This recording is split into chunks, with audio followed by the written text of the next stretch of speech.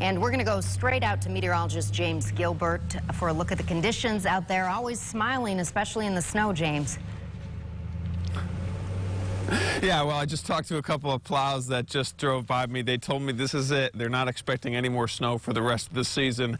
I told them I'll see what I can do. Uh, they had some smiles on their faces, taking it in stride. You know the plows have been working all day yesterday, all night long tonight. And what's good is the plows have all night, right? They have the clear roads, which is good. Uh, this has had maybe one pass over it. You can see this is the car that just moved through earlier. You're seeing some video of the plows that are moving through as well. Uh, of course, uh, that's the best part for them is when they have clear roads. It's difficult to plow, obviously, during the peak driving times, during when we have, uh, of course, 4, 5, 6 p.m. hours, and, of course, all the other cars on the road. We spoke to many plow drivers that were getting ready for, of course, the first one of the season.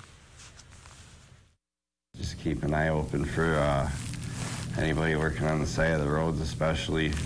Um, keep an eye out for black ice. Watch the watch the shoulders. That's where the snow piles up, where the snow plows kick it up, and it'll suck you in.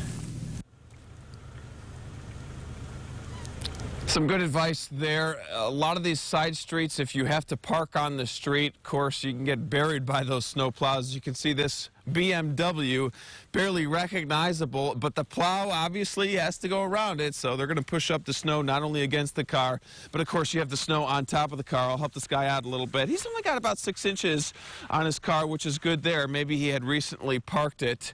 Uh, so this guy's going to have a little bit of work to do this morning. I just saw a police officer drive down East Ave. That's a good sign. Uh, of course, EMT all out as well, getting ready for this morning. Again, nothing is necessarily impassable here. We're dealing with several inches on the back roads.